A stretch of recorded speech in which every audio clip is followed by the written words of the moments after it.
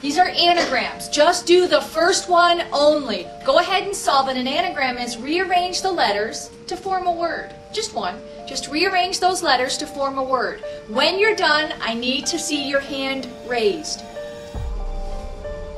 Keep going, but wait. Keep your hands up, please.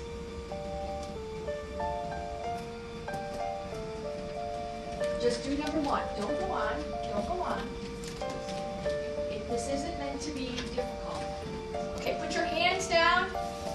Let's just go to number two. Don't even worry about number one. Go to number two. Solve that one. Again, when you're done, I want to see your hands up.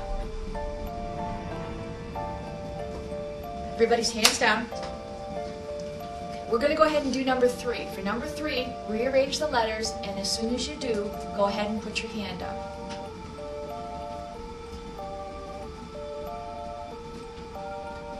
Here's what you need to know. You were both given two different lists.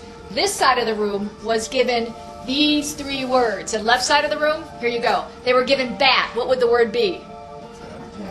The second one, they were given lemon. Brian, the word? Melon. They were easy. The trick here was both of you were given the third word, which was the same. The third word was cinerama, which was American. Your first two words on this side of my classroom were not solvable. They were impossible tasks. I'm sorry, I'm sorry. I know, but here's what we did this for.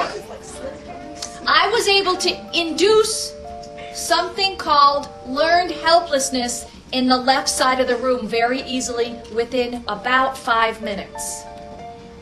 I want you to think about what happened to you, this left side of the room, when you saw the right side of the room raising their hands because they already had the task done. What happened to you during that time? Jory, Felt stupid.